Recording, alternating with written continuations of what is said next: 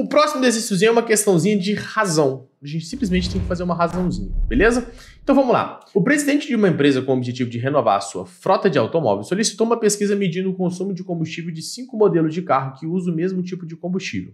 O resultado foi, te dá aqui do carro 1, 2, 3, 4 e 5.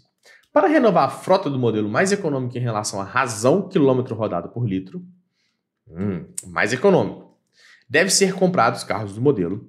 E aí é o seguinte, o que é a conta que a gente tem que fazer aqui? Vamos interpretar esse cara aqui, ó. carro 1. 195 dividido por 20. Estou pegando quilômetro, estou dividindo por litro. Vamos fazer as continhas, quanto que dá? Esse cara aqui vai dar 9. 9 vezes 20 menos 180. Sobra 15. Vai mais um zero aqui. Esse cara vai dar, vai vírgula, né? não dá para dividir. 7 vai ficar menos 140, sobra 10, mais um zero, 5 aqui. Então esse cara dá 9,75. O que, que significa esse 9,75? Tem gente que faz essa divisão não sabe nem o que está rolando. 9,75 significa que ele está fazendo 9,75 km por litro. Não foi o que a gente dividiu, quilômetro por litro?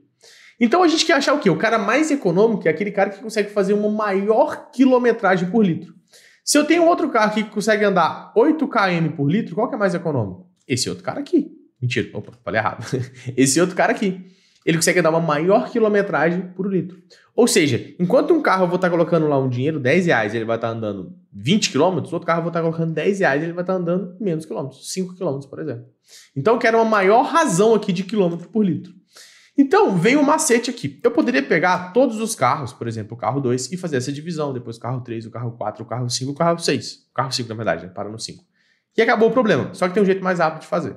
Ó, então vamos lá. Antes de a gente sair fazendo essa divisão, quero ensinar um macetezinho para a gente fazer essas contas aqui um pouquinho mais rápido. Veja bem, se eu for pegar o carro 5 e o carro 3, se liga só nisso. Se eu multiplicar esses dois caras aqui, 65 km e 8 litros, eu vou estar te ensinando no truque agora de razão. Felipe, por que você vai multiplicar isso? Não, não confunde não. Se eu multiplicar por dois dos dois lados, você concorda que é a mesma coisa? Ou seja, 130 km em 16 litros. Faz sentido? Se o cara anda em 8 litros, 65 km, em 16 litros ele vai andar o dobro, 130 km. Agora a gente está falando a mesma linguagem do carro 3 aqui. Então eu posso comparar os dois diretamente. Então olha só, o carro 3 eu estou falando o seguinte, em 16 km ele está andando 145 km. O carro 5 em 16 km ele está andando 130 km. Ou seja, qual carro que é mais econômico? O carro 3. Na mesma quantidade, no mesmo volume de litros ali, ele consegue andar uma quilometragem maior. Então o carro 5 eu nem preciso fazer as contas, eu já posso eliminar esse cara. Ah, Felipe, gostei, interessante. Vamos fazer a mesma coisa com o carro 2 e o carro 4? O carro 2 e o carro 4, eu vou multiplicar o que está no carro 2 aqui, ó. Ou seja, 96 multiplicado por 2 dá 192 quilômetros. 12 multiplicado por 2, 24 litros. Agora eu posso comparar o que? O carro 2 com o carro 4. Eles estão andando. Tem o mesmo volume de litros, só quero ver quem está andando mais. O carro 2 está andando 192 quilômetros. O carro 4 está andando 225. Então o carro 4 está andando mais do que o carro 2, com a mesma quantidade de litro de combustível. Então também não preciso fazer a conta para esse cara aqui. Legal. Agora vamos fazer a continha aqui ó, do 3 e do 4. Então o carro 3 vai ser o quê? 145 dividido por 16. Tranquilo, tranquilo? Bora fazer a continha. Quanto que dá esse cara? Esse cara aqui vai dar 8. Vamos fazer as contas aqui, ó. 16 vezes 8, 48, vai 4 aqui. 128. Dá para mais 16, né? Uh, vai ficar 4 aqui, vai 1. Isso. Então, ó, 9. Se eu colocar 9 aqui, vai dar 144. Beleza? Já fiz as continhas aqui. Vai sobrar 1. Então, não dá para dividir, põe um zero aqui, a vírgula aqui. Não dá para dividir, eu tenho que colocar mais um zero, vai ficar mais um zero aqui. E esse carinha vai ficar 6.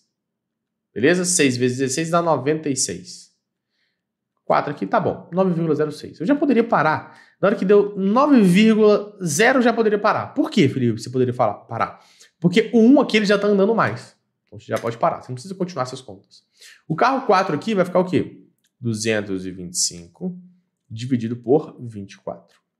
Bora fazer a continha? Eu chuto que vai dar 9 aqui, vamos ver. 24 vezes 9. 9, 18, 27, 36. 18, 21. Então vai dar 9, vai dar menos 216. Sobra 9 aqui. Então não dá para dividir, põe um zerinho aqui, a vírgula, esse cara vai dar 3, vai ficar menos 72. Já posso parar de fazer as continhas. Por que já pode parar, Felipe? Porque deu 9.3, esse cara aqui já deu mais. Então, o 1, ele é o mais econômico de todos. Ou seja, ele consegue andar uma maior quilometragem é, com menor quantidade de combustível. Tranquilo?